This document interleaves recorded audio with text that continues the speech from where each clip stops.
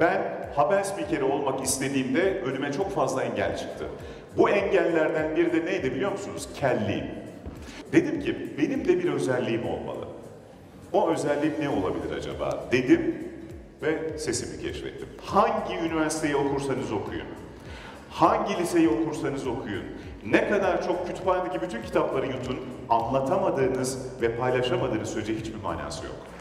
Yani Size bir şey söyleyeyim mi? O kadar güzel bir örnek ki bu.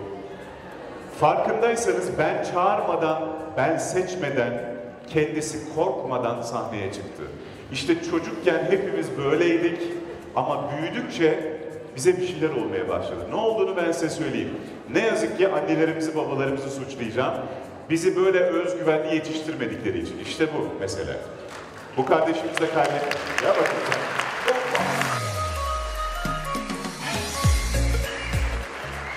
Çok beğendim. Çok güzel konuşuyor, akıcı konuşuyor ve bize geçebildiğini düşünüyorum. Heyecanımızı yenme konusunda iyi şeyler kattı. Çok öğretici, eğitici bir şey oldu. Yani Cem Bey şu anda bize özgüvenli olmamızı, korkmamamızı, sesimizi böyle ne inceltip ne kalınlaşıp olduğu gibi diyaframdan çıkan sesle doğal bir sesle söylememizi söyledi. Cem Bey Argem'e de daha önce gelmişti. Ben onun sayesinde mesela elimi kolumu çok hareket ettirmemeye başladım. Konuşmalarımda daha etkili olmaya başladım. Yani benim de bu e, konuda sıkıntılarım vardı. Hani hızlı konuşma açısından olsun, iletişim konusunda sıkıntılarım vardı özgü- özgüven konusunda. E, buraya gelerek hani bunu yenebileceğimi öğrendim e, ve daha iyisini yapabileceğimi öğrendim. E, bunun için de bundan böyle gay- gayret sarf edeceğim. Cem Ertel'e çok teşekkür ederim.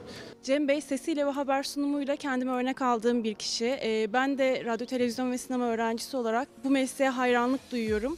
Ee, O yüzden de Cem Bey'in sıkı bir takipçisiyim. Arnavutköy Belediyesi'ne de e, Cem Bey'e de bu eğitim için çok teşekkür ederim.